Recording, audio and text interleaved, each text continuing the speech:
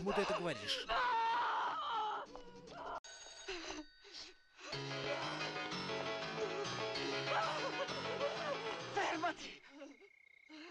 Стой!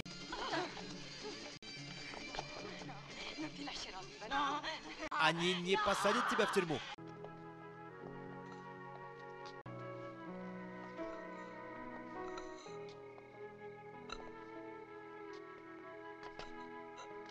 Oh.